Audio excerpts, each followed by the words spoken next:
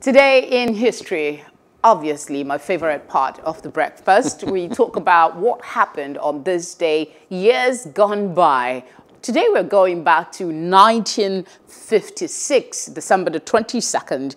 Uh, a baby gorilla whose birth was not planned in the first instance. Um, it was just the shenanigans of um, an undergraduate, a student, a veterinary student in a university, putting two um, gorillas together, uh, Baron and Millie, that's uh, Christina, if you please, to hang out. And then, poof, we saw an amniotic uh, fluid, amniotic, I don't, did I get that word? Uh, amniotic, yes. Amniotic uh, fluid sac outside and then oh my gosh there is a baby. And that's how we got Colo. His birth was unplanned but he was one of the celebrate most celebrated animals um, celebrity let's use it that way. Um, okay let me just break it down a bit. On this day um, the name Colo was given to the gorilla to be the first gorilla to be born in captivity. Uh, the name is a combination of Columbus and Ohio. And the two gorillas that I mentioned, the parents, uh, Millie and Mark, was the world's, at the time, they were famous as well because they worked together. Um, I also mentioned already that uh, she was born um, accidentally. There was no plan for her birth. She just happened. Um, the baby was given a mouth to mouth and uh, she survived. But because the parents did not have any parenting skill, they've been in captivity for a while, um, the zookeepers had to raise Colo like a normal baby. They gave him formula, they gave her, rather, I beg your pardon, they gave her formulas, they put her in diapers and um, um, all of that. Now, uh, gorillas are basically vegetarians, as we know, and they always claim, I mean, um, um, human rights, animal rights activists claim that we humans are their worst, yeah, their yeah, worst I mean, enemy because we go to uh, capture them and all of that. But the intriguing thing I find about this is on the average, a gorilla that is in the wild lives for 35 years, but in captivity, they live longer. And in the case of Colo, uh, she survived for, she died in 2017. Mm -hmm. So she stayed for a long while and, you know, opened the conversation about animal care in the zoo and how you're going to uh, raise them. She had her baby uh, not so um, uh, long, and then she became a great grandmother, a, a grandmother, and then a great grandmother. Uh, today, we know that there are approximately 750 gorillas in captivity around the world, and um, most zoo are active in captive breeding program, but we know that there's also been an evolution. Uh, when you think about uh, just oppose the conversation around humans being their, among their worst enemies, and then you see that they live longer when they're in captivity, you now begin to well, what what is humane and what is humane that we are seeing today is that they, they are trying harder to recreate the natural wild environment in the zoos. They, they live longer in captivity um, because they are kept in zoos and they are fed and they are, you know, taken care of. Um, doesn't make it better for them. I um, agree. It's um, not. In, it's, in the first place, right, Colo maybe wouldn't have been born if um, his parents weren't captured um, in French Cameroon in the first place in as early as 1951. Mm. Um, there's a lot of um, activism against circuses and zoo animals and keeping these um, animals, uh, you know, in captivity for just for human, you know, pleasure and enjoyment for years. They should be in the wild. They should be in the in the seas. Those dolphins should be in the seas. Gorillas should be in the forest or wherever they, they should belong. And yes, I would agree that human beings have become the worst virus on the earth, on Mother Earth itself, against animals, against the seas, against you know the the the, the uh, forests, you know, and, and the trees, against everything. And one of the reasons that we might be seeing um, a lot of the diseases and a lot of the the um, natural disasters that might be coming up, you know, in, in these times, that some of the effects of human beings, you know, decades and centuries ago Uh, we've been a total disaster to Mother Earth, and we We're, should, we should we're also we also have a lot of humans in everything. There is I, I don't know. I'm always on trying to see the light at the end of the tunnel. We've Mm. also worked hard to try and I mean there is a whole um, a group championing uh, preservation of our climate, asking us to be a bit more, you know, sustainable in the way that we behave. and there are people who, no, let me let me come. There are people who are vegetarians simply because they are against the killing and the eating of animals. There are people. So in every cluster, even in the animal world, you survive or you die. So these groups come up because of the actions of human beings. That's yeah, why. we're also humans. it is humans that are coming up to protect. I mean, it's a contradiction, but at the end of the day,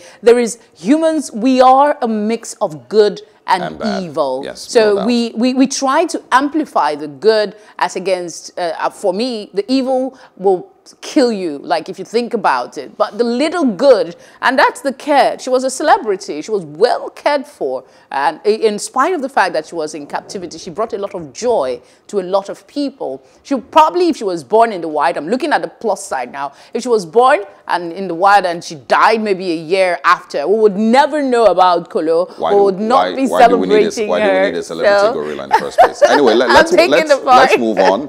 Um, his name is John Wayne Gacy. He was born in 1942. Uh, lived in um, in between Ohio, Iowa, and um, um, um, California, I believe. His face um, or Chicago, I beg your pardon. He's popularly known as the Killer Clown. Um, his atrocities started in 1978, and today is relevant in this story because it is on this day that he confessed to killing about 33 young boys and men, a lot of them who he claimed were male prostitutes in the Chicago area.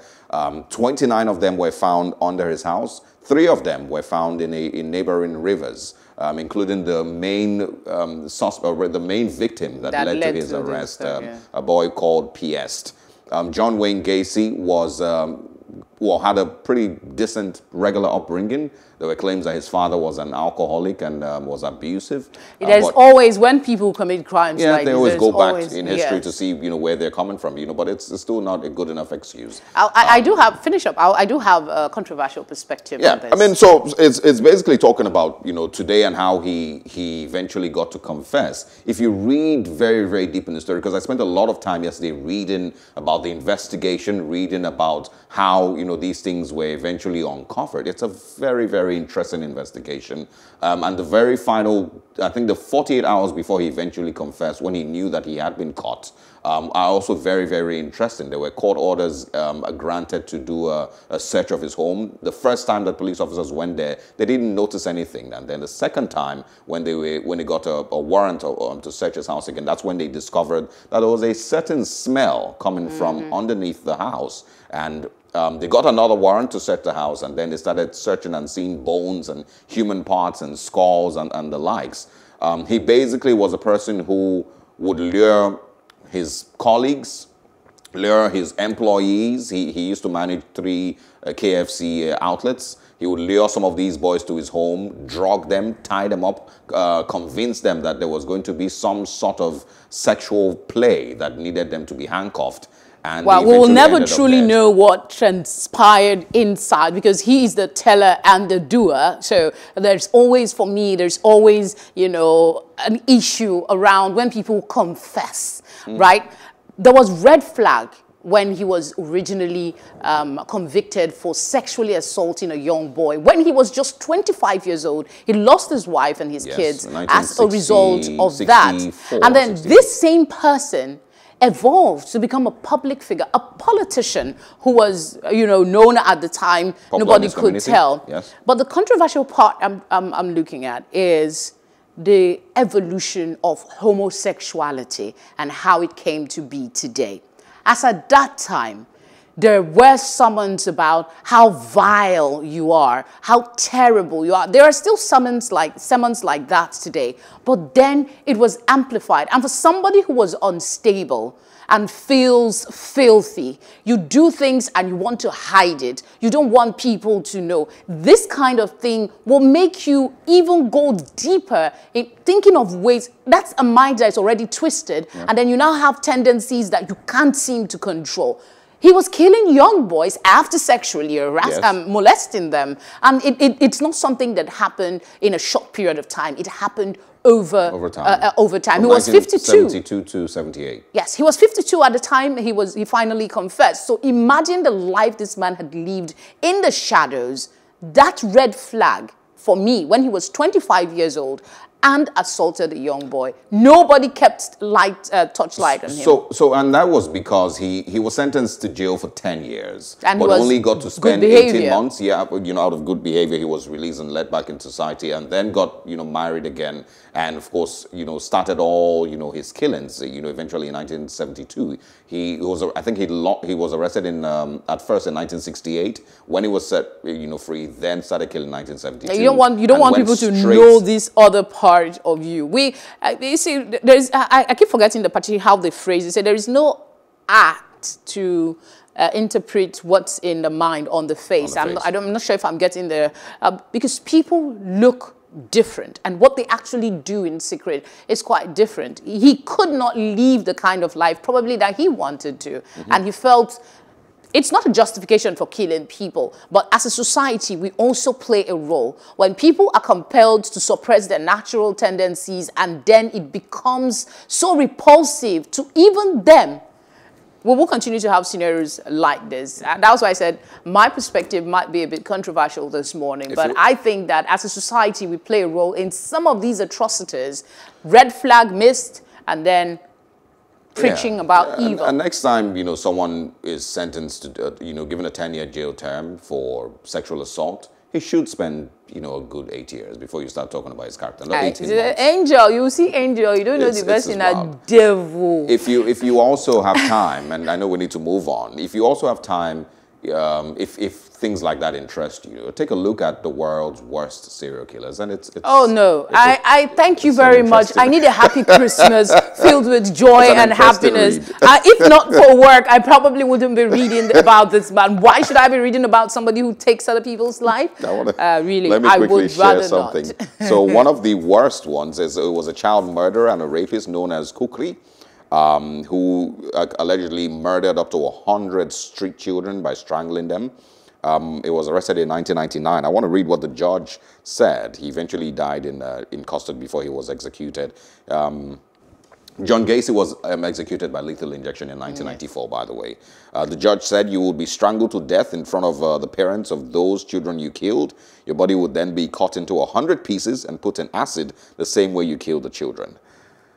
But he didn't get to experience that because he died in custody. I don't know why this excites me. Good morning.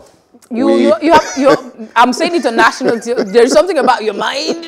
It's a bit. Anyway, that's today in history for us. Um, we've taken a look. I'd like to talk about the gorilla Colo. I like that one better because I mean, yes, she might have uh, been in captivity, but she lived a full life and uh, brought joy to. eh, the, her naming was a competition. That's the part that we forgot to mention. Her naming was actually a competition, and a couple wanted to give her the name, a combination of uh, Columbus and, And uh, Ohio. Ohio. That's it for today in history. We go on a short breather, and when we come back, we'll be looking at the 2021 budget.